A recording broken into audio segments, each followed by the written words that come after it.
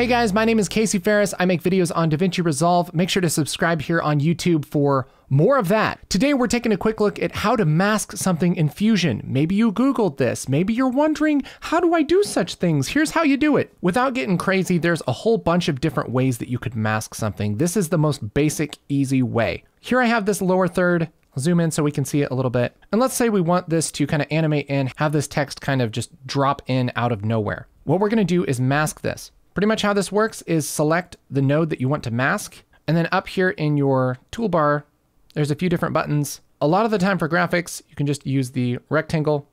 I'll just click on rectangle. That'll add a rectangle mask node. Up here in our canvas, if we have the rectangle mask node selected, we have this rectangle that we can move around. I'm going to turn off this checkerboard so we can see it a little easier. Now, if I grab this little red handle and move this around, we can see that this text appears wherever the mask is. So what I'll do is just size this mask around our text. I can do that by changing the width and the height in our inspector.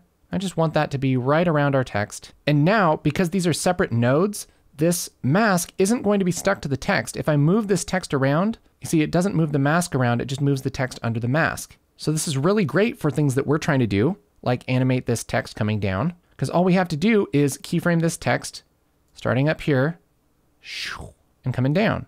And you have to say when you do it. So I'm going to move to whatever frame I want this to stop at. Let's say frame 30. And with my text node selected, what I'm going to animate in the inspector is under the layout controls, the second icon over, center. This is what we're animating. I'm going to click on this little diamond and turn it orange.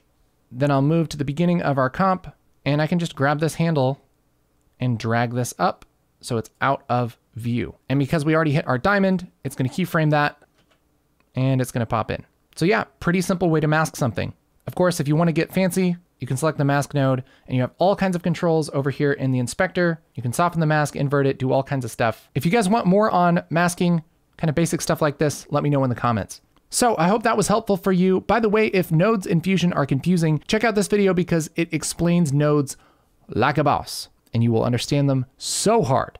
It's great. Yeah.